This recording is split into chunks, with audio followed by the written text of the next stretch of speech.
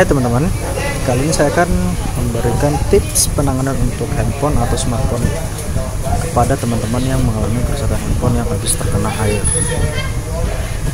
Dan hand, kebetulan handphone yang di depan saya ini data usernya habis terkena air. Ada jejak-jejaknya bagian di sini. Kelihatan? Ya nggak usah lama-lama aja sih yang diperlukan untuk melakukan penanganan pertama pada handphone yang terkena air dan apa aja yang dipersiapkan. Pertama kalian harus punya obeng. Obeng yang saya pakai di sini adalah obeng plus ukurannya 1,5 kali 25 mm untuk obeng dan yang paling penting juga tuh kalian harus punya thinner thinner ini yang akan membersihkan kerat atau kotoran yang habis terkena air pada mesin smartphone ini. Ya yang kedua pasti kalian harus punya sikat. Menyikat mesinnya. Ya. Sikat bekas ini. Dan yang terakhir itu pinset buat melepas fleksibel yang ada di handphonenya. Oke. Okay. oh iya. Sedikit saran lagi buat teman-teman. Kalau handphonenya habis kena air jangan dipaksain pakai. Kalau bisa mati matiin dulu. Terus ya lakukan penanganan seperti di video ini. Dan jangan pernah colokin cas kalian kalau handphonenya sudah mati. Jangan pernah. Ini bahaya. Oke? okay? selama-lama kita buka kebetulan yang depan kita ini adalah Xiaomi Redmi 4X jadi dia nggak di baut buat uh, hancing casingnya ya.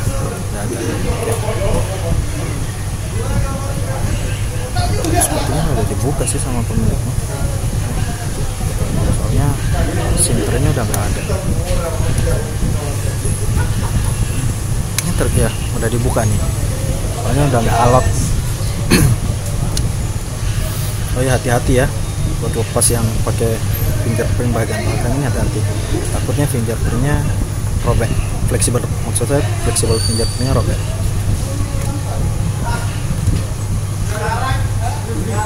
Oh iya sekelnya udah kebuka.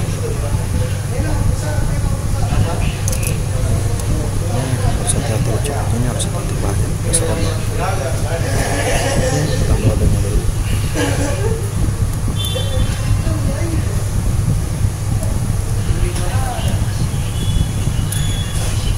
untuk baut atau skrupnya kalian bisa taruh di backdoor atau casing handphone ini.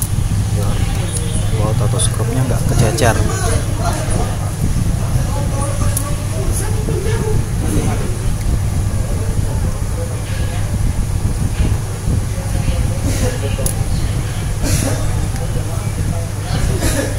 teman-teman nggak usah takut buat bongkar semua handphonenya di rumah jelas kalian punya obeng bongkar aja. Supaya handphonenya itu bukanya backdoor dulu. Soalnya untuk jenis Samsung apalagi yang Super AMOLED itu bukanya dia dari depan dulu. Dia LCD dulu jadi harus bawa ke tempat servis. Tapi untuk kasus seperti ini saran saya sih lakuin ini dulu lah pada uang kalian habis buat servis handphone. Mending kalian lakukan ini dulu. Lumayan kan uangnya bisa dipakai buat jajan. Oke kita lihat di sini ya ini udah kena air. Kelihatan enggak ini kalau warna aslinya ini putih kalau dia udah kena air dia akan berubah jadi merah. Tapi ini kayaknya nggak parah sih soalnya dia masih pink. Kalau teman-teman pernah membawa handphonenya ke service center habis kena air terus teman-teman banyak lo nggak pernah kena air nih. Kalian nggak bisa bohong soalnya segel airnya ada di sini. Kapan berubah warna berarti udah kena air atau kena cairan. Pertama kita harus cepet bagian fleksibel baterainya dulu biar aman dan tidak terjadi korslet atau short. Dan kedua ini fleksibel LCD Oke, ini fleksibel tombol power. Kita bisa sini kan? Tombol power. Copotnya itu seperti ini. Sip. dan ini fleksibel touchscreen. Ini saya kayaknya sih dekat ini bahaya coba kita lihat lihat ini seperti dugaan saya ini dia udah kerak ini air ini. Habis kena air. Mudah-mudahan layarnya bagus ya. Soalnya kondisi handphonenya mah pertama masuk ke meja servis saya ini udah mati handphonenya. Saya harap sih handphonenya LCD nya bagus. Ini untuk model kameranya ya. Hati-hati juga buat ngepasnya soalnya fleksibelnya rawan. Ini untuk modul fleksibel kamera depan oke untuk bawa terakhir kita buka sini.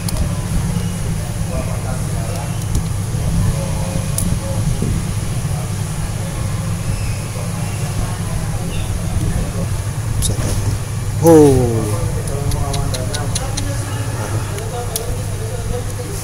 Oh. Di sini kita bisa lihat air yang masuk ini. Bakar ini udah bentuk korosi. Ini bentuk korosi kita taruh dulu di sini kita perhatikan. Displaynya dulu apa masih aman atau gimana? Saya masih aman. Oke.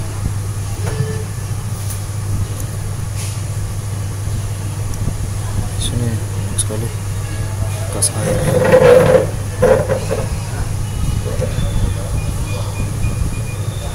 coba lagi dulu sini oke nggak usah lama. kita langsung sikat aja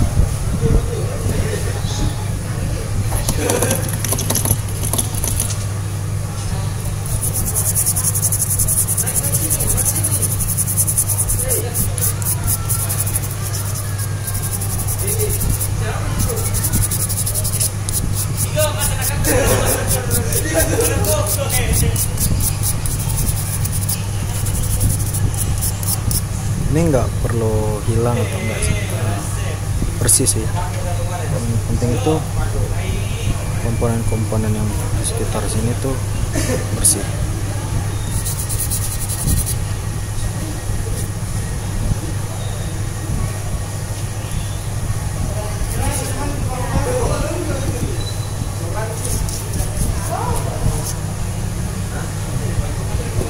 Sekarang kita coba buka bagian penutup mesin kita lihat bagian dalamnya. Masih bagus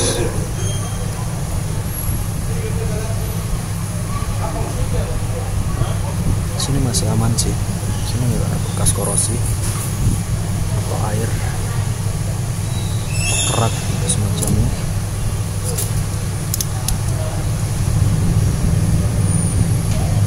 kita buka lagi bagian bawah ini sini juga masih aman kita pasang kembali lagi inilah fungsinya penutup ini karena di bagian dalam kaleng ini adalah komponen utama terdapat terdapat prosesor dan eMMC nya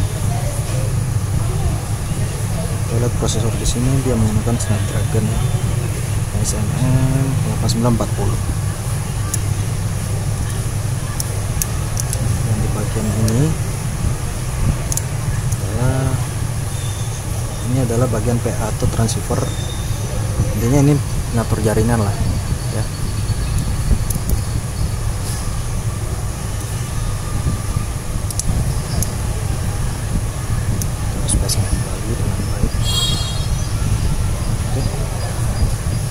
sana. Sudah cukup bersih sih. Kita kembali kita kembali ke LCD nya kita periksa tombol powernya.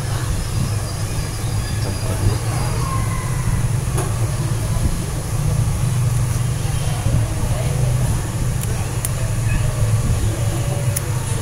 Ini hati-hati ya bukannya.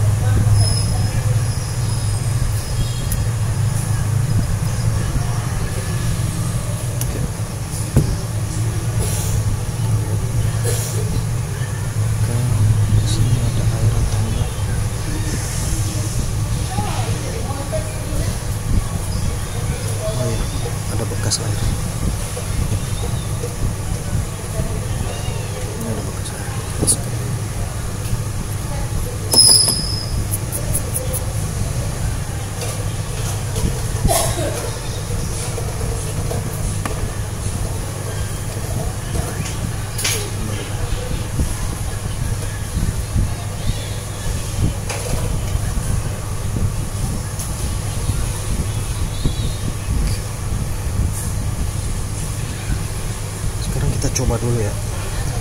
Kita nggak usah pasang model kamera dulu. Cukup pasang. Semuanya. Dan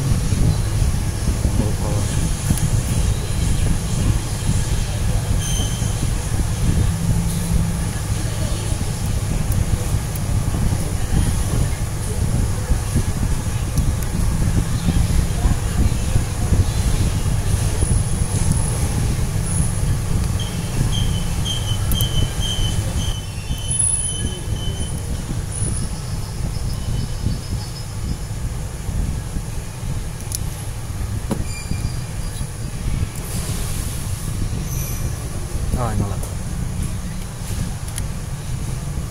alhamdulillah nyala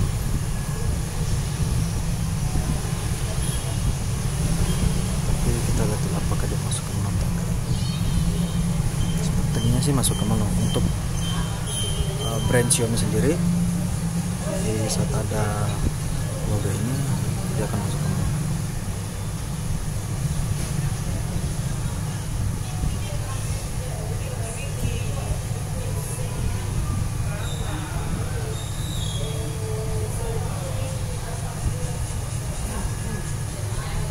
rasa kita cepatin aja ya videonya ini ngambil durasi kan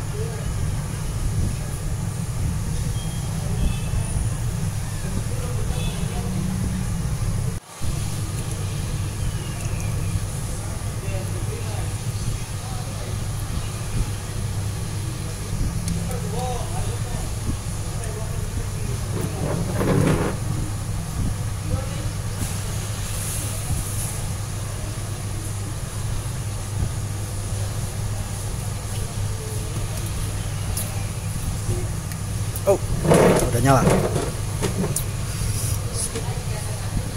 Nah, berarti handphonenya udah dikerja. Mungkin punya sendiri melakukan facing atau gimana? Tapi nggak tahu sih kenapa bisa mati total. Nyala, alhamdulillah.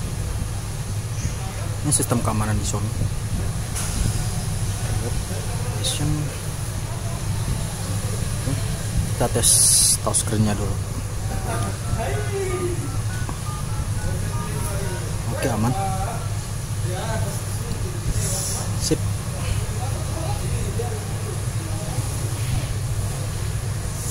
Copot aja langsung. Yuk kita rakit kembali ya handphonenya.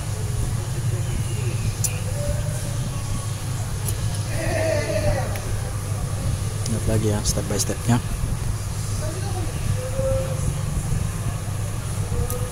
pas pas juga ini pas juga ini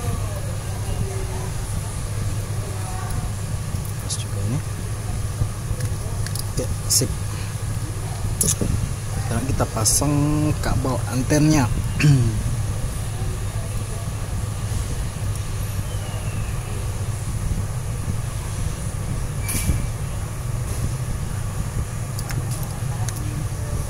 Oke.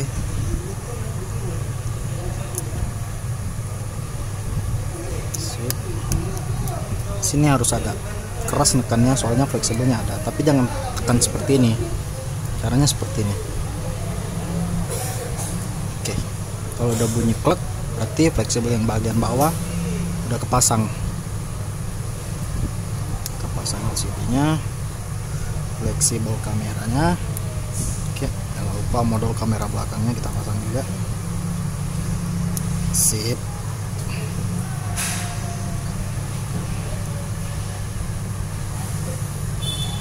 oke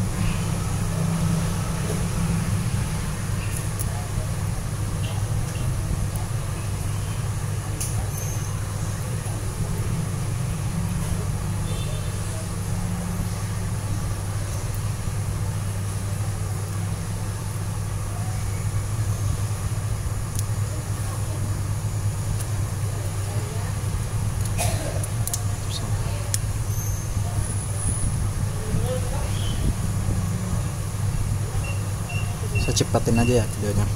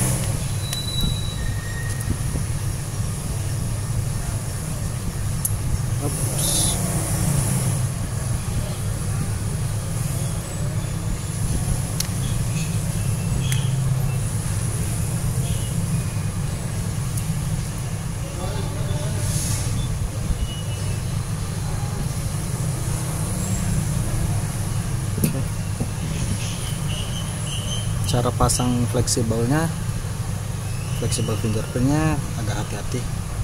Kalian tarik seperti ini dulu lihat. Tapi jangan tarik sampai ke samping ya. Oke ada kalau udah bunyi klik. Berarti fleksibelnya udah rapat. Eps, ada yang lupa. Kita bersihin dulu lensa kameranya kotor. Kita ambil tisu dulu ya sip di sini ada di sini.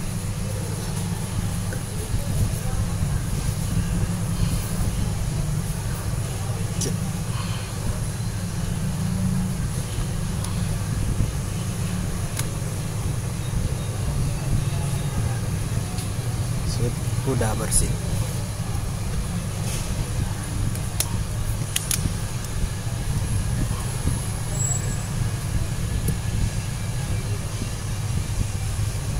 oke.